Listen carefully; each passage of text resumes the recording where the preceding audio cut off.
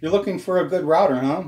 Thought you would poke around and see what your peers are using and what they think of them. I know it's difficult when you are looking at the top 10 lists and one list rates a router as a number one, but you go to another list and it has the exact same router at a number five. Even more difficult is looking at the ratings. This can really throw you for a loop. I've seen people give an item a one star just because the packaging was damaged. Really? You haven't plugged it in or touched it to a single piece of wood to see how it performs. But it gets a one star because the box was damaged. The way that I utilize this unregulated rating system is by first skipping over the five stars. Five stars means they are they're happy with it. I will click on the four star, so that is all I see. I want to browse through them and see what it is lacking for that last star. Find matching complaints here will tell me there is something to be aware of. Then I will click on the one star. I will browse these to look for a pattern. Are there multiple comments that a screw comes loose or the on switch stopped uh, working after, after a week? This will give you a good indication of how reliable the tool is. When it comes to a router, a good place to start is first asking, do you want a fixed base router or a plunge router? Do you want it mounted or mobile? Should you go with a cordless or not? Do you want a quarter inch or half inch collet? I always like to throw in that I am not sponsored by any of the recommendations that I make. Let's answer these questions first. A fixed base router essentially locks the bit at a specific depth while a plunge router has a spring that allows you to plunge the bit into the wood. So if I wanted to put an edge on a piece of wood from one side to the other, a fixed base router would be a good option. However, a plunge router can do the same thing.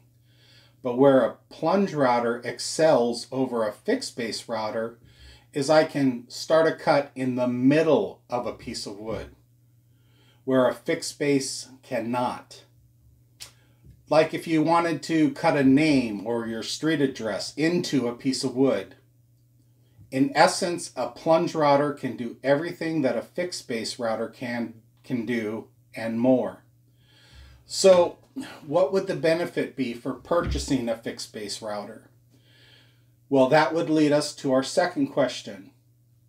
A fixed base router would be a more cost effective option if I was going to mount it to a table, whereas a plunge router will cost you more and you would lose the benefit of the plunge mounting this to a stationary table. Now, should I go cordless? Yes. Having a handheld finish router will be a necessary convenience. This particular router costs me nothing. Every year, usually between Memorial Day and Father's Day, they have Ryobi days. This is where you purchase a set of batteries and a charger for $99 and then you get to pick out a tool for free. One of my selections during this promotion was this hand uh, handheld router brilliant marketing. Now, when I go to buy a cordless tool, it is more cost effective for me to select Ryobi since I already have Ryobi batteries. One thing they did that is kind of unheard of in the cordless tool industry is they made their new lithium ion batteries cross compatible with the older NICAD tool line. When it comes to cordless tools, I always say the same thing.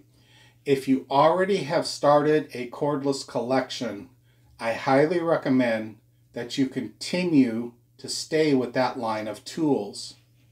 This way you do not have to buy different batteries and chargers for each tool. Of course, our plunge router and the router we may be mounting to a table do not have cordless options yet. Now, what about the half inch and quarter inch collet sizes?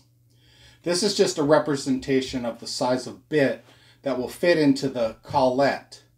Well, this is a fairly easy decision because most of the half inch routers come with an adapter to accept quarter inch bits.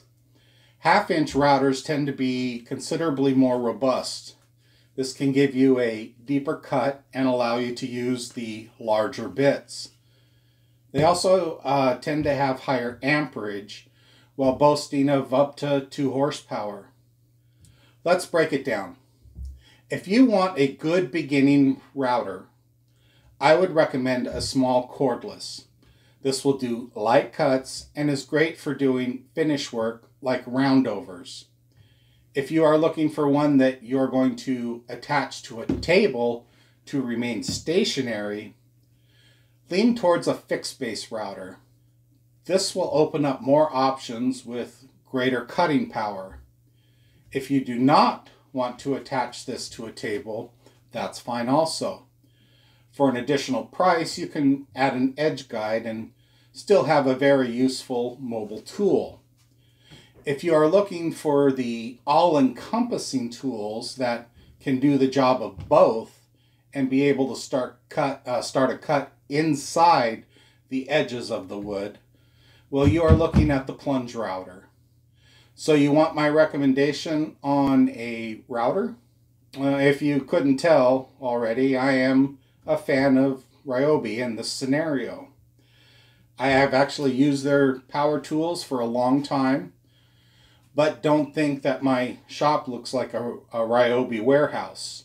On the contrary, if I took you on a tour, you would see that I have a Frankenstein set of tools. I have Craftsman, DeWalt, Ryobi, and I even have some Wen power tools. The Ryobi routers are a, re a reliable and robust tool that will do what you need them to do. If you don't want to use my recommendations for whatever reason, that's fine. I just want to help you make an informed decision. As you become comfortable using your new router, you will become more and more attached to it.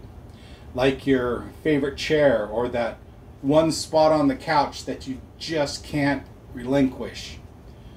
Regardless of what router you are using, keep your bits sharp. Don't hesitate to replace a bit if you feel that it is getting dull from extensive use.